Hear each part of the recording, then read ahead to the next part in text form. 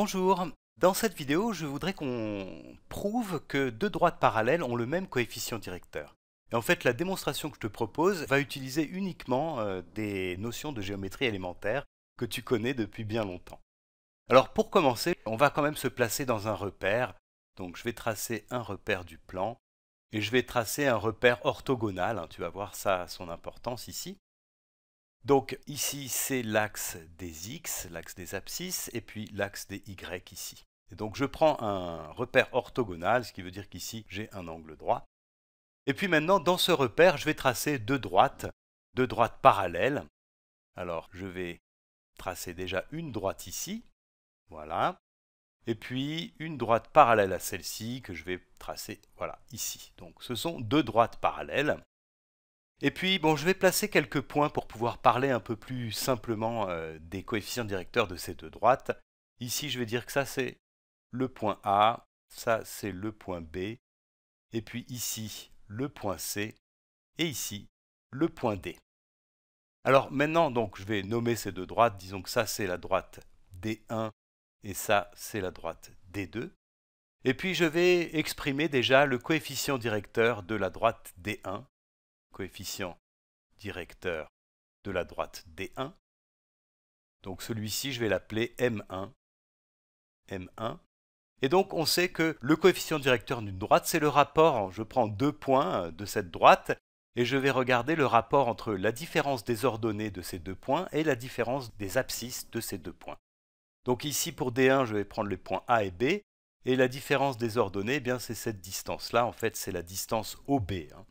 Donc ici, je vais avoir OB sur la différence des abscisses qui est cette distance-là ici, OA. Voilà. Ça, c'est pour ma première droite. Et puis pour la deuxième droite, je peux faire exactement le même travail.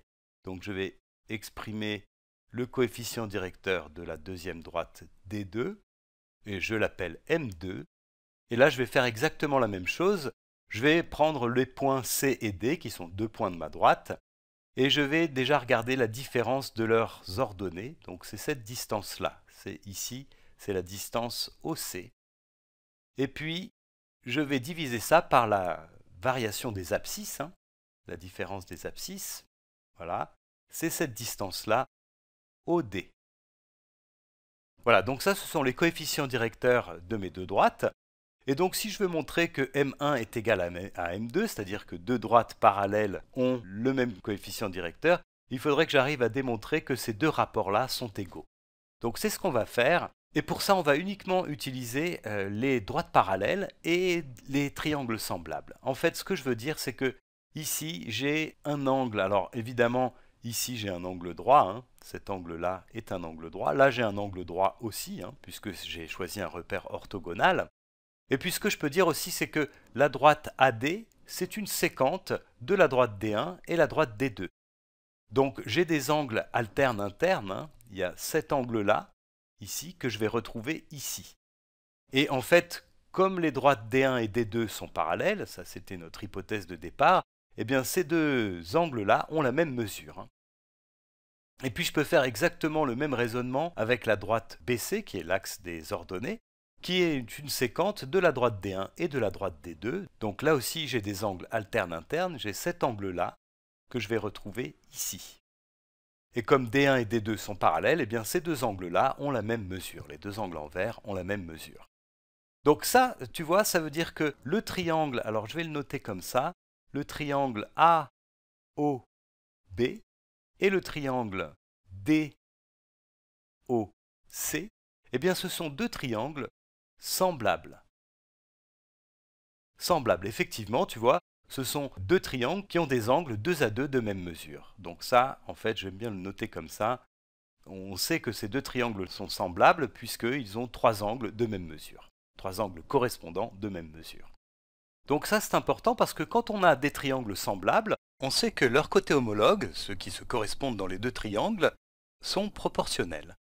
Donc ça, je vais l'écrire leurs côtés sont proportionnels. Proportio, alors je vais l'écrire plus bas, sont proportionnels. Alors j'ai dit tout à l'heure hein, une phrase plus précise, c'est leurs côtés homologues sont proportionnels. Donc il faut qu'on regarde quels sont les côtés qui se correspondent. Alors je vais déjà regarder le côté OB dans le triangle AOB qui est là. Et celui-ci, eh bien c'est un des côtés de l'angle vert et un des côtés de l'angle droit. Donc il va correspondre dans le triangle DOC au côté de l'angle vert et de l'angle droit. Donc c'est ce côté-là, OC. Donc le côté OB et le côté OC se correspondent. Et puis le côté OA, alors je prends le côté OA parce que tu vois, je cherche à exprimer ce rapport-là, OB sur OA. Donc le côté OA, eh bien tu vois, c'est un des côtés de l'angle rouge et de l'angle droit, donc il va correspondre dans l'autre triangle DOC au côté OD, qui est aussi un côté de l'angle rouge et de l'angle droit. Donc OB correspond à OC, OA correspond à OD, et les côtés sont proportionnels, c'est-à-dire que le rapport OB sur OA est égal au rapport OC sur OD. Donc tu vois que là, on a terminé, on a démontré que ces deux rapports-là étaient égaux en utilisant le fait que les triangles sont semblables, et donc on peut en déduire que M1, le coefficient directeur de la droite D1, est égal au coefficient directeur de la droite D2. Voilà, donc effectivement deux droites parallèles ont le même coefficient directeur, et cette preuve-là est intéressante parce qu'elle ne fait intervenir que des notions élémentaires de géométrie.